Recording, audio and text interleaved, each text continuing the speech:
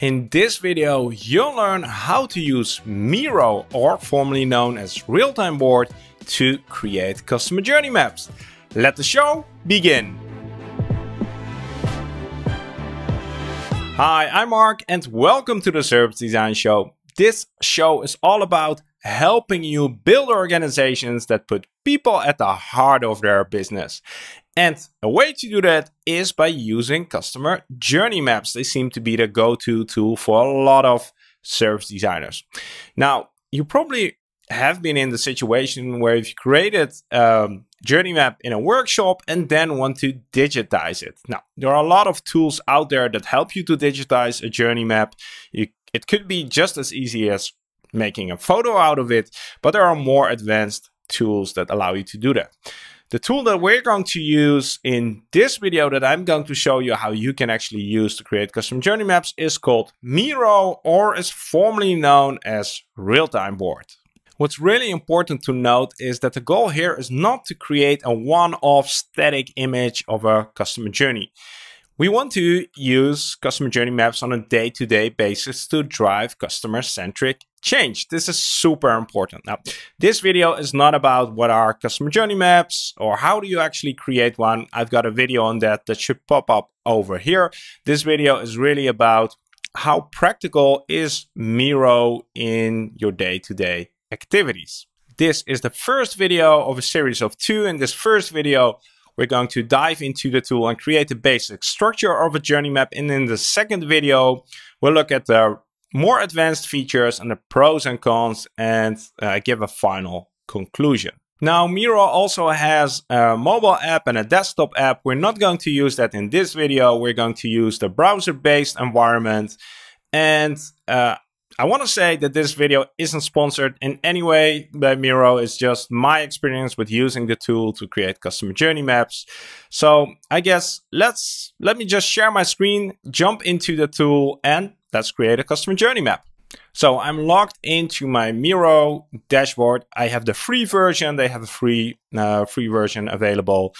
And uh, we're going to create the mother of all maps, the basic structure. Uh, the goal here is not to create a complete, uh, elaborate map. It's just to show you what the building blocks are of a customer journey map and how you can use them in Miro. So Miro has uh, already, I think, two templates available for a customer journey map. We're not going to use them, of course.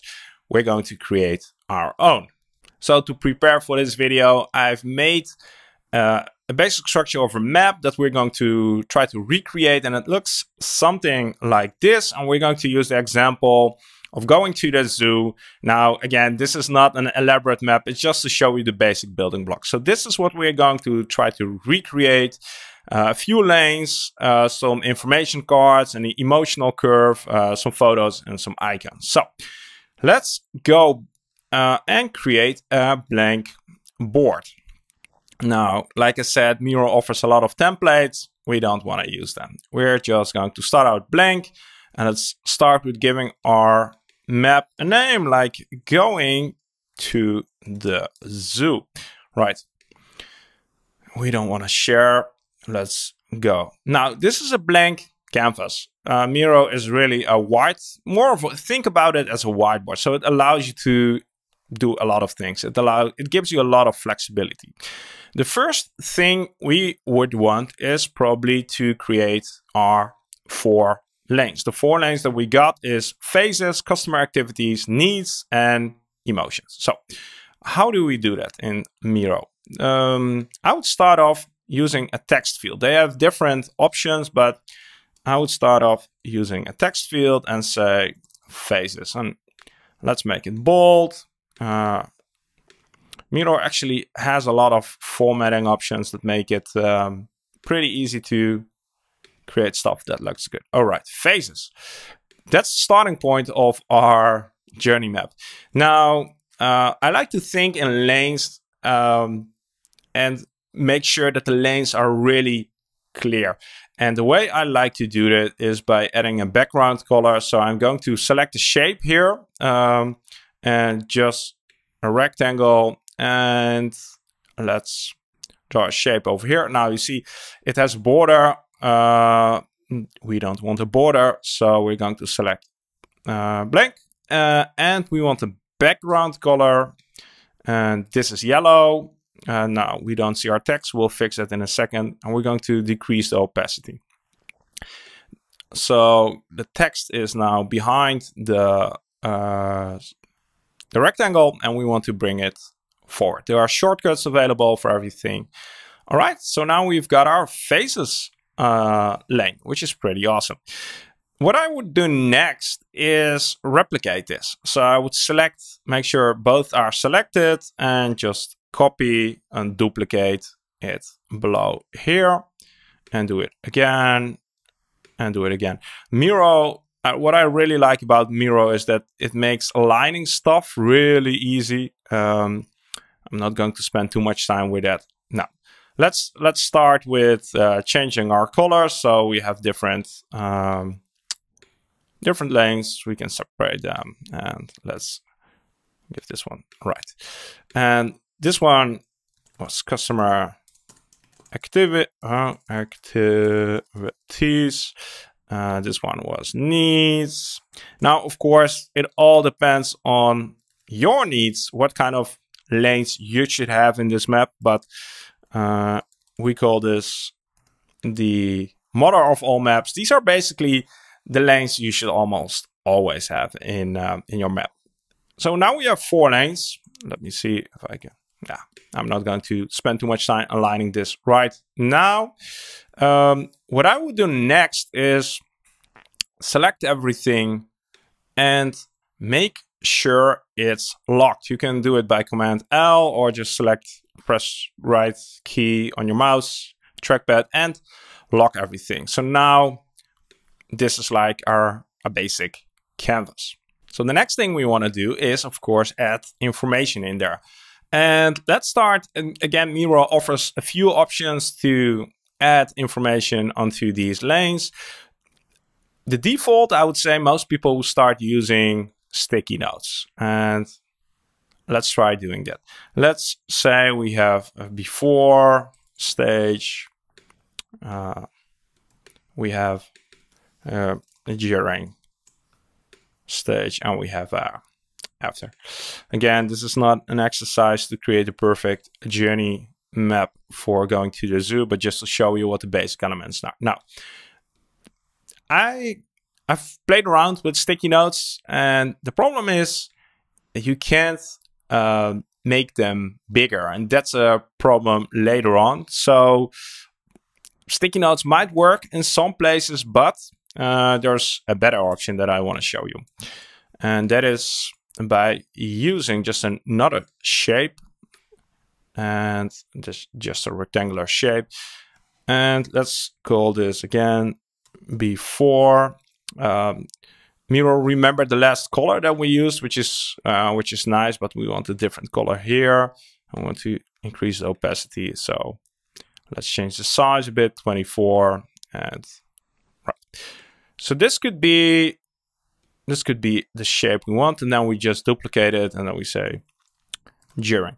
What what I like about using these kind of shapes rather than the post-it notes is that the, you can make them smaller and bigger. And that's really useful as you see later on. All right, so now we've got our basic phases in going to the zoo. Let's uh, have a look at customer activities. What I like to do here is use a different kind of information layer. And uh, that's the third way you can actually add information. And it's hidden over here uh, in this menu, and it's called a card. Let me show you. So uh, when you add a card, you just uh, type something here, and the first uh, customer activity would be uh, buy tickets.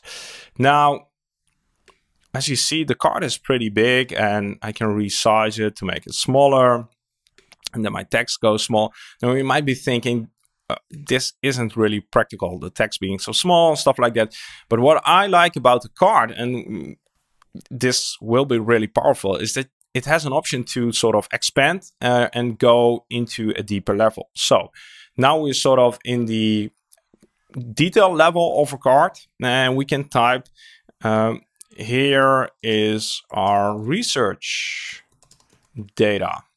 Uh, we, and we could add uh, quotes from customers, uh, links to additional resources, stuff like that. And that is um, that is super useful uh, later on.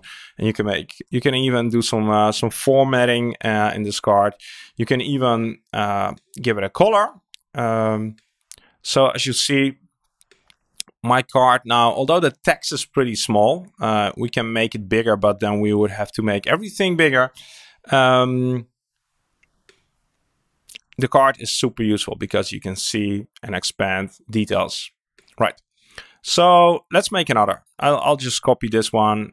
Uh, and let's say this is uh, park your car, right? Park your car. Now, as you'll see, we need to expand our face a little bit, and that's quite easy to do. I like to use these kind of cards the only downside, what, what would be really nice, which I haven't found a way to do, maybe there is, tell me in the comments if you know how, um, is I would like to add images in here. Maybe there's a possibility, I haven't found it, but I would like to add images here. So these are the three ways to add information a shape a post-it note and a card and when you have research data or uh, want depth in your information layer I'd recommend using cards. All right, now let's look at the other two lanes. Needs, um, that's basically the same as the top lanes uh, above. So that wouldn't be, it depends on your needs. Like I said, you could add uh, uh, clear navigation. You could add a card or a shape. It, it really depends on your what you need, how much information do you want here. So needs is not really exciting. Um, the emotions layer, uh, that's the layer where we want to have a curved line, right? That's, I would almost say that's the iconic uh, thing in customer journey maps. So for that, um, we have a few options. Uh, they have a pen. Uh, we could start drawing the emotion. That doesn't work really well because it's hard to edit uh, later on. And there's a much, much better way to do that and really easy way to actually do that. And that is by using the line tool. So they have a line tool and we're going to just first um, draw our basic uh, grid. Let's use another line. So to access and uh, what I'm doing is, right, I'll make sure it's aligned properly. There we go. And then I'm going to lock these two. So um, we sort of have our axis. We can make it bigger, smaller, but we can't move it around. So that's great. Now we want to have show the up and down emotions, the positive, negative emotions. And that's a way to do that. Uh, once you know it, it becomes really easy is again to use a line. So I'm going to draw a straight line over here. Uh, and it will all make sense in a minute. Then I'm going to select a different color. Let's say, I don't know, uh, red. Might not be the best color, but uh, at least it's clear. And I'm going to make it a little bit thicker. So now we have a straight line and we can even position it if we want um, over here. Uh, and how do we how do we make it this into a curved line? Well, it's really easy.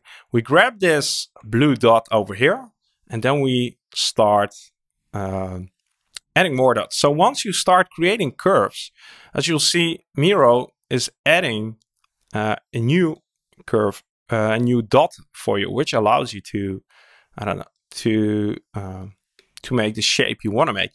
And you can really easily expand this. You can really easily change the curve. So this is this is awesome. I really like um, how they've implemented using the line tool. So as you see, we now have the emotional curve, the iconic image uh, of a customer journey map using uh, the line tool. Now, the final thing I want to show you uh, in this customer journey map is how to add metadata to to the map you have over here. So we already seen that uh, cards allow you to add uh, data, but there's another way you can actually do that, and that is it works with any shape. You can add a comment. So uh, there are a few ways to actually add a comment, but I'll right click on the shape and I say add comment.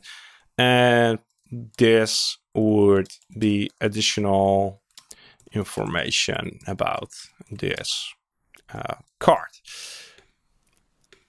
And that's pretty cool. It adds uh, it adds a comment, and you can open that, and you can do that on any shape, um, even here, uh, not on the line, but most shapes allow you to add comments. So this is a way to add metadata when you're not using a card. The other um, forms of metadata would be more visual forms of metadata. So what you've probably uh, often see is like icons or images. Miro has um, two cool features. Uh, when you go here to apps, you'll see Iconfinder, which is pretty cool. Uh, and we're ticket because we might want to add a ticket. Um, let's use the most basic ticket. Uh, and you can just search for icons. So we'll add a ticket over here, make it a little bit smaller.